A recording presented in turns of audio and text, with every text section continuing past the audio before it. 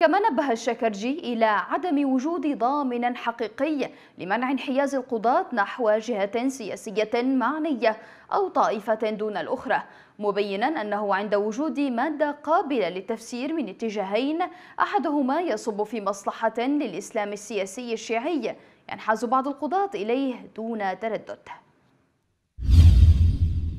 مع احترامنا قضاة صحيح بس هل تضمن لي أنه هؤلاء القضاة غير منحازين لطائفة أو لاتجاه سياسي أو لدين أو لقومية يعني لو يصير مادة قابلة للتفسير بهذا الاتجاه أو بهذا لنفترض نعم. مادة إذا يمكن أن تفسر لما فيه صالح القوى السياسية الكردية ولكن يمكن أن تفسر لصالح القوى قوى الإسلام السياسي الشيعي. أكيد راح تميل آه، ما دام قابلة للفهمين راح تميل محكمة اتحادية مادة تميل إلى خلينا نقول إلى إعطاء منح صلاحيات حقوق واستحقاقات للسنة وممكن للشيعة راح تميل للشيعة نعم. وهكذا يعني مادة تعطي حرية غير محدودة للدين ومادة بها تقييدات راح تميل للفهم اللي به تقييدات نعم. عرفت شلون؟